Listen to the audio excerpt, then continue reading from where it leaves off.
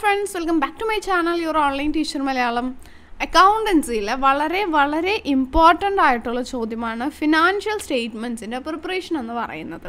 Normally കുട്ടികൾക്ക് അത് നോർമലായിട്ടുള്ള രീതിയിൽ ചോദിച്ചു കഴിഞ്ഞിട്ടുണ്ടെന്നുണ്ടെങ്കിൽ ചെയ്യാൻ വേണ്ടിയിട്ട് കിട്ടും. അതല്ലാതെ അഡ്ജസ്റ്റ്മെന്റ്സ് വരുമ്പോഴാണ് കൺഫ്യൂഷൻ ആകുന്നത്. പക്ഷേ ഇതൊരു ഷുവർ ക്വസ്റ്റ്യൻ ആണ്. അപ്പോൾ ഇന്ന് നമ്മൾ നോക്കാൻ വേണ്ടിയിട്ട് പോകുന്നത് നമ്മൾ ശരിക്കും അതായത് നിർബന്ധമായിട്ടും പഠിച്ചിരിക്കേണ്ട ഒന്ന് രണ്ട് അഡ്ജസ്റ്റ്മെന്റ്സും അത്രയും എങ്കിലും നിങ്ങൾ നോക്കിയിട്ട് പോകുക എല്ലാ അഡ്ജസ്റ്റ്മെന്റ്സും നോക്കി അത്രയും നല്ലത്. പക്ഷേ ഏകദേശം എക്സാമിന് വരാറുള്ള കുറച്ച് അഡ്ജസ്റ്റ്മെന്റ്സ് ആണ്. സോ ആ അഡ്ജസ്റ്റ്മെന്റ്സും പിന്നെ ആ ഒരു ഫിനാൻഷ്യൽ സ്റ്റേറ്റ്മെന്റ്സിന്റെ ഒരു പ്രോബ്ലം കൂടി പഠിച്ചു കഴിഞ്ഞാൽ നിങ്ങൾക്ക് ആ ഒരു ബാലൻസ് ഷീറ്റും ടാലി ആകും.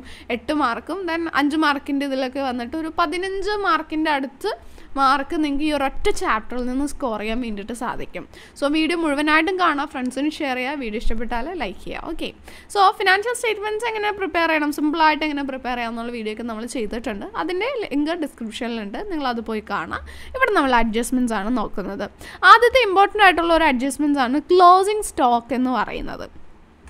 ഈ ട്രീറ്റ്മെന്റ് മാത്രം നിങ്ങൾ പഠിച്ചാൽ മതി. അതങ്ങനെ കാണാതെ പഠിച്ചേക്കുക ക്ലോസിംഗ് സ്റ്റോക്ക് നമ്മൾ എന്താ ചെയ്യുക ട്രേഡിംഗ് അക്കൗണ്ടിന്റെ ക്രെഡിറ്റ് സൈഡിൽ എഴുതും അല്ലേ?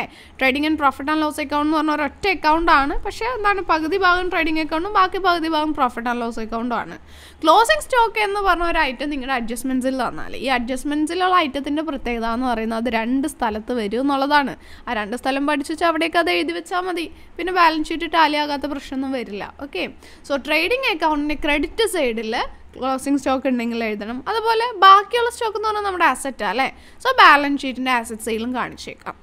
ഇനി അടുത്തതാണ് ഔട്ട്സ്റ്റാൻഡിങ് എക്സ്പെൻസസ് ഔട്ട്സ്റ്റാൻഡിങ് എക്സ്പെൻസ് എന്ന് പറഞ്ഞാൽ നമ്മളൊരു എക്സ്പെൻസ് പേ ചെയ്യാനുണ്ട്. പേ ചെയ്തിട്ടില്ല. പേ ചെയ്തിട്ടില്ല എന്ന് പറഞ്ഞാൽ ഒരു ബാധ്യതയാണല്ലോ. സോ ഓഫ് കോഴ്സ് അത് ബാലൻസ് ഷീറ്റിന്റെ ലയബിലിറ്റി സൈഡിൽ വരും. പിന്നെ അസറ്റ് എക്സ്പെൻസ് ആകുമ്പോൾ എന്തായാലും നമ്മളത് പേ ചെയ്തിരിക്കണം. എക്സ്പെൻസ് നമ്മൾ എവിടെ കാണിക്കും? ഈ trading and profit and loss account expense സൈഡിൽ ഇപ്പോൾ ഒരു ടെലിഫോൺ എക്സ്പെൻസ് ആണെന്നുണ്ടെങ്കിൽ അതിന്റെ എന്തെങ്കിലും ഔട്ട്സ്റ്റാൻഡിങ് ഉണ്ടെങ്കിൽ ആഡ് ഔട്ട്സ്റ്റാൻഡിങ് എന്ന് പറഞ്ഞാൽ അതുകൂടി അതിന്റെ കൂട്ടത്തിൽ ആഡ് ചെയ്യാം.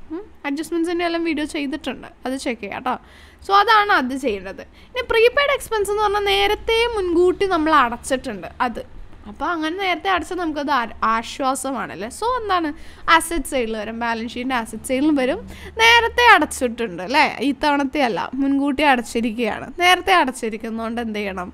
അത് നമ്മുടെ trading and profit and loss അക്കൗണ്ടിന്റെ എക്സ്പെൻസ് ആണല്ലോ എക്സ്പെൻസ് സൈഡിൽ ഉണ്ടാകുമല്ലോ. ഇപ്പോൾ എന്താണ്? ടെലിഫോൺ പ്രീപെയ്ഡ് ഒരു നൂറ് രൂപ പ്രീപെയ്ഡ് ചെയ്തു എന്ന് പറഞ്ഞാൽ ആ ടെലിഫോണിൽ നിന്ന് പ്രീപെയ്ഡ് ചെയ്ത് നൂറ് രൂപ കുറച്ചേക്കുക ഡിഡക്റ്റ് ചെയ്യുക സോ അതാണ് അത് വരുന്ന രണ്ട് സ്ഥലങ്ങൾ ദെൻ മറ്റൊരു ഇമ്പോർട്ടന്റ് അഡ്ജസ്റ്റ്മെന്റ് ഔട്ട്സ്റ്റാൻഡിങ് ഇൻകം നമ്മൾ ഔട്ട്സ്റ്റാൻഡിങ് എക്സ്പെൻസ് പറഞ്ഞ പോലെ തന്നെ ഔട്ട്സ്റ്റാൻഡിങ് ഇൻകം എന്താണ്? ഇൻകം കിട്ടാനുണ്ട് കിട്ടിയിട്ടില്ല. കിട്ടാനുള്ള ഒരു ഇൻകം എന്ന് പറഞ്ഞാൽ അസറ്റ് അല്ലേ? നമ്മളൊരു എക്സ്പെൻസ് പേ ചെയ്തില്ല എന്ന് പറയുമ്പോൾ അത് ബാധ്യതയാണ്. പക്ഷെ ഒരു ഇൻകം കിട്ടാനുണ്ട് എന്ന് പറഞ്ഞാൽ അത് അസറ്റാണ് സോ ബാലൻസ് ഷീറ്റിന്റെ അസറ്റ് സെയിൽ എഴുതും. അതുപോലെ തന്നെ എന്താണ്? ഇൻകം കിട്ടാനുണ്ട് എന്നുണ്ടെങ്കിൽ ഈ വർഷത്തെയാണ് നമ്മൾ ആഡ് ചെയ്യും. ഈ വർഷത്തെ എല്ലാ കാര്യവും നമ്മൾ ആഡ് ചെയ്യും. അതല്ലാതെ റിസീവ്ഡ് അഡ്വാൻസ് പ്രീപെയ്ഡ് ഒക്കെ നമ്മൾ ലെസ് ചെയ്യും. അത് ചെയ്യാം. ദെൻ ഇമ്പോർട്ടന്റ് ആയിട്ടുള്ള മറ്റൊരു അഡ്ജസ്റ്റ്മെന്റ് ആണ് ഇൻകം റിസീവ്ഡ് ഇൻ അഡ്വാൻസ് നേരത്തെ മുൻകൂട്ടി വാങ്ങിച്ചേക്കാം. നമ്മൾ അതിനുള്ള പണിയൊന്നും എടുത്തിട്ടില്ല അല്ലേ? പക്ഷെ എന്താണ്? നേരത്തെ മുൻകൂട്ടി വാങ്ങിച്ചു.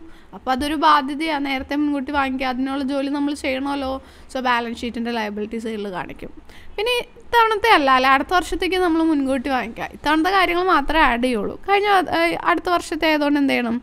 അത് അത് ഇൻകത്തിൽ നിന്ന് അത് ഡിഡക്റ്റ് ചെയ്തിരിക്കണം. ഈ അഞ്ച് അഡ്ജസ്റ്റ്മെന്റ്സ് നിങ്ങൾ എന്തായാലും നോക്കിയിട്ട് പോകാം.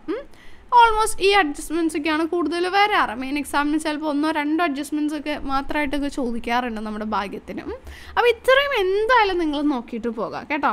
അതല്ലാതെ നമ്മൾ ശ്രദ്ധിക്കേണ്ട അഡ്ജസ്റ്റ്മെന്റ്സിന്റെ എല്ലാം ഫുൾ വീഡിയോസൊക്കെ ചെയ്തിട്ടുണ്ട്. ഇത്രയും നിങ്ങൾ നോക്കിയിട്ട് പോയാലും ഒരു എട്ട് മാർക്കിൽ ചിലപ്പോൾ നിങ്ങൾക്ക് എട്ട് മാർക്കോ ഒരു ഈ അഡ്ജസ്റ്റ്മെന്റ്സ് മാത്രമേ വന്നിട്ടുള്ളൂ അല്ലെങ്കിൽ ഒരു ഏഴ് മാർക്ക് എന്തായാലും നിങ്ങൾക്ക് സ്കോർ ചെയ്യാൻ പറ്റും.